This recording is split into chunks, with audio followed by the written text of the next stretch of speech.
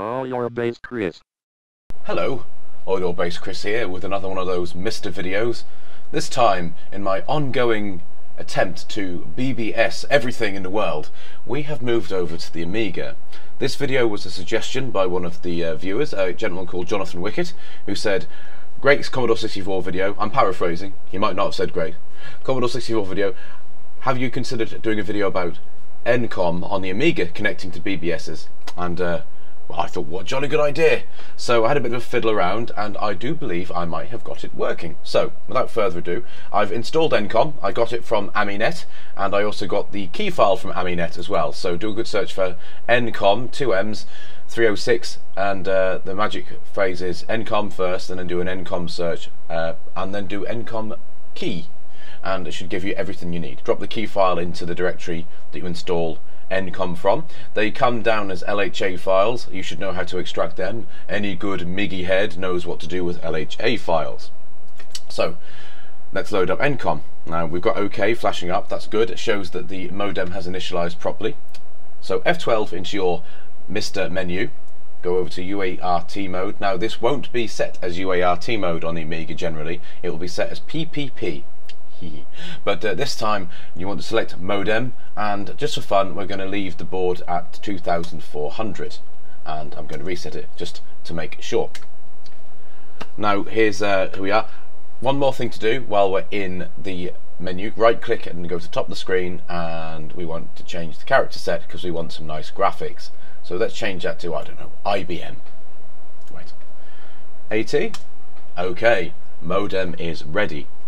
So for today's trick, I'm going to attempt to contact Black Flag BBS because they've got some lovely ASCII artwork. And uh, what would be good is if I learned how to type. There we go, Black Flag dot acid dot org. Now, obviously, this is a live demonstration, so it could go horribly wrong.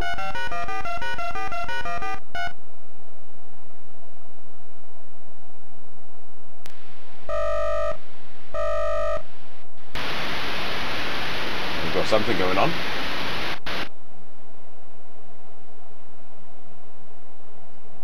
And it looks like we are in.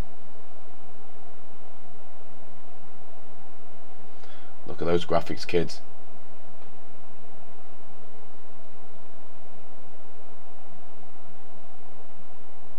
Ooh.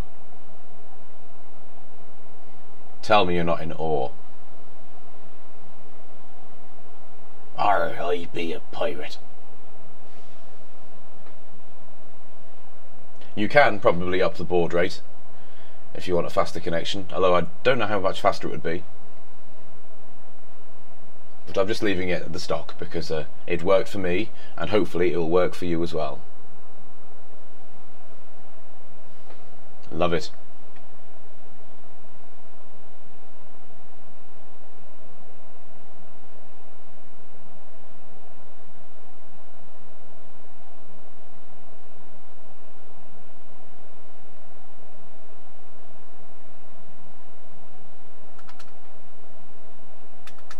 Press escape twice with it. Um, well, I pressed escape. It didn't do very much at all. But, uh, okay, so for my next trick, let's try another BBS. It just happens I've got a little notepad open on my desktop with, a, with an address I'd like to try now. AT. Ooh, AT. Okay. ATDT frontierbbs.net 888. This is a Amiga based one.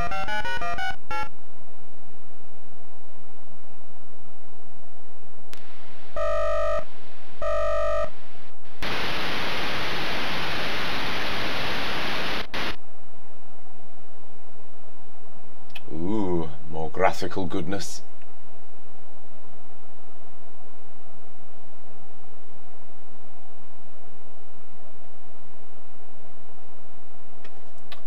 Now, I was a bit cheeky and I tried something out first hand, and I believe this should allow me to log in.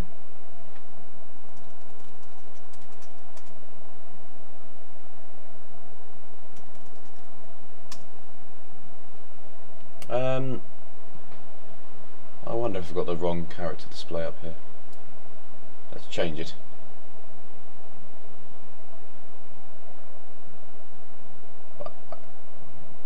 ISO? No.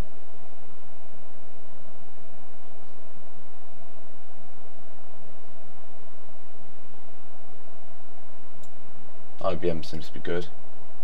Smash your keyboard.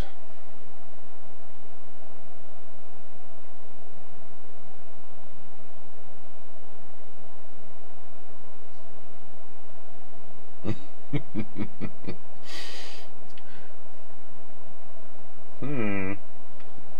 As you can see, I've logged in repeatedly.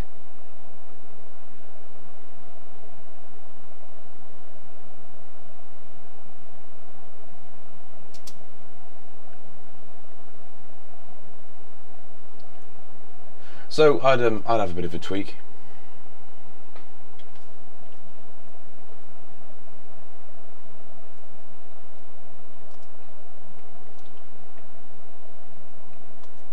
And let's see what's going on here.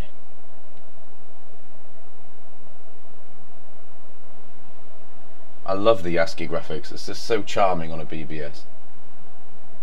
It's been so long since I've done any of this, I've completely forgotten about it. Oh, and it's giving you my IP address. Excellent. No uh, scanning my naughty ports, thank you. I think uh, you might find that blurred out in the actual video.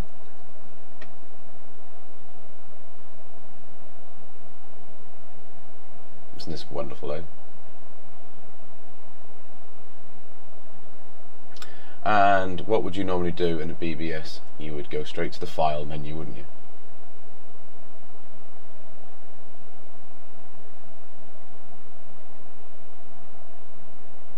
browse by area.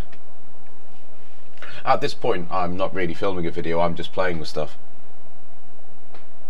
Let's go into Amiga files and see what we've got.